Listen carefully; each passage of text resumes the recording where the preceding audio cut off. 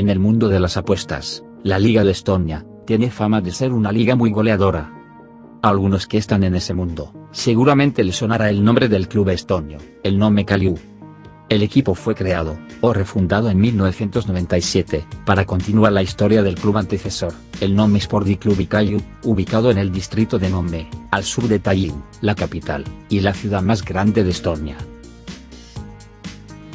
El club disputa sus partidos como local, en el Estadio IU, un centro deportivo de usos múltiples en Tallinn, Estonia. El estadio es propiedad del distrito de Nome. Tiene una capacidad para acoger alrededor de 650 personas.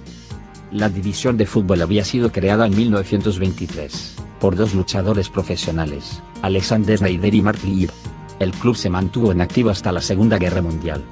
Cinco décadas después, en 1997, varios deportistas estonios lo refundaron en Omekaliu actual.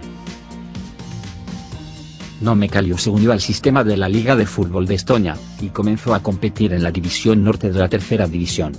El club terminó su primera temporada en segundo lugar, mientras que Joel Lindberg fue el máximo goleador con 13 goles.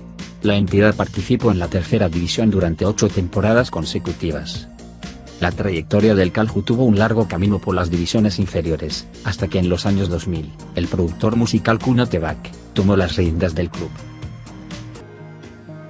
Después de ascender a la segunda división en 2005, la entidad derrotó en 2007 al Kuressaare, y ascendió por primera vez a la Liga, la máxima categoría nacional. En su debut en la élite de Estonia, recurrió a un técnico brasileño afincado en el país, a Getulio Fredo. El Nome Calju reconstruyó el equipo al firmar 16 nuevos jugadores. En su primera temporada en la Liga, logró terminar en cuarto lugar, mientras que su jugador Inkemar Tever, gana el título del máximo goleador con 23 goles. En 2009, el club también hizo su debut en Europa, jugando en la UEFA Europa League, donde fueron derrotados por el Dinaburg, de Letonia, por 1 a 2 en el global de la primera ronda de clasificación.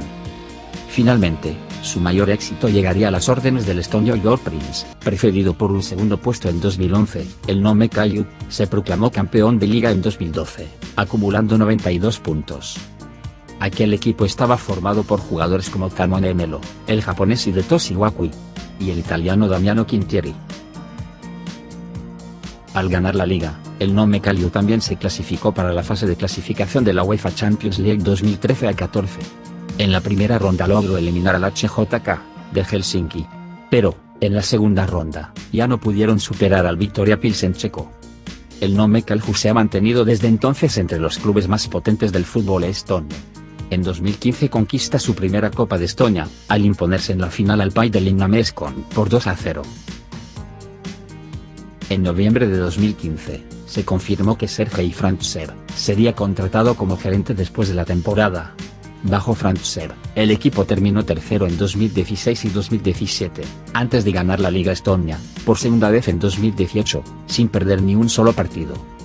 El escudo original del club, se creó en 1922, cuando se fundó el Calio Sports Club, aunque el autor del escudo sigue siendo desconocido. El escudo fue renovado recientemente, por el artista Martin Lazarev, quien conservó todos los elementos históricos, pero le dio una forma y diseño más actualizado. Los uniformes del Nome Calio han sido tradicionalmente en blanco y negro.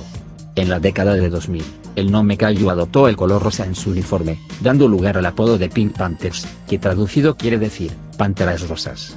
Dicho color rosa, no suele ser muy habitual en el mundo del fútbol.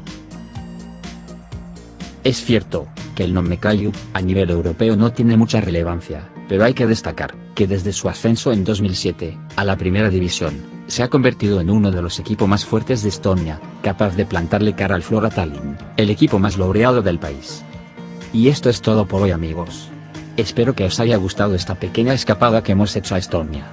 No os perdáis los próximos videos del canal. Hasta pronto cracks. ¿Te ha gustado el video? ¿Quieres saber más de otros equipos? Entonces no lo pienses más, y suscríbete al canal de YouTube de Clubes del Mundo. Publicamos actualizaciones constantes de videos y fichas de equipos de todo el planeta.